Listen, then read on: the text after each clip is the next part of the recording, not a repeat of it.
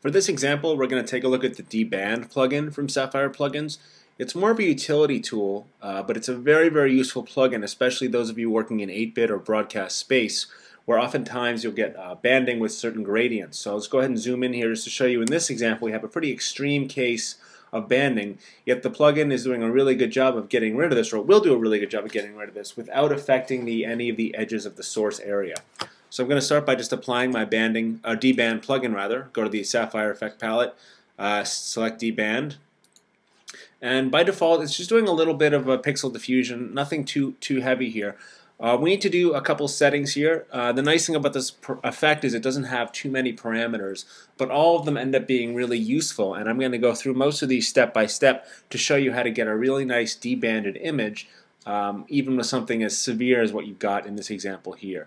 Uh, the first thing I want to do is go to my show option. I'm just going to zoom in here to show you this option. And what this lets me do is it lets me look at not only the results, but the edges as well. So I'm going to switch this from results to edges.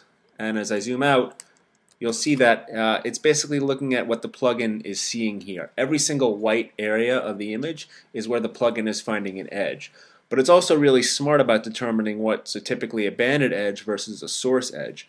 And by doing this, um, we can actually start to pull out some of the banded areas without really affecting any of the source areas that we don't want to do a deband to. So to go ahead and start to pull these edges out, we've got what's called the edge threshold, and I'll just show you that real quickly here. I can go ahead and actually start to take up my edge threshold, and as I pull this value up, it's going to start to pull away all of those banded white areas. But you can see again, the plugin is a really good algorithm for determining uh, a banded edge versus a source edge. So I just to take this up a little bit more here, it's basically pulled away all of those heavy white areas that we had here, but it's left intact the source edges here. Um, the option beneath that I don't necessarily use as much, but just to point that out, that's the grow edges. So that's going to blur out the uh, non-affected edges a little bit more. If you want to do a little bit more preservation on that, you can see as I do that, it's slowly growing the uh, those edges. Um, so once I've done this, I basically set the area of, of definition to be debanded with the plugin. So then I can go back and I can turn my show option back to my result. And I'll zoom in here to show you it hasn't really done a whole lot. Again, by default, it's doing a little bit of pixel diffusion. But by going ahead and setting your edges, you can actually, you've defined a region for the plugin to work within. So once you've done that, then it's time to start doing the debanding. And this is done by adding blur and then diffusion. So the first thing I usually tend to do is add my pre-blur here. And the pre-blur is the layer of blur that's applied first. Uh, and again, it's only applied to the banded areas.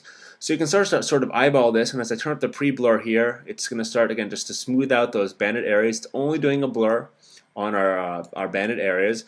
And again, I'll just uh, take this from 11 here. I'm just going to zoom in to show you it's already starting to get better.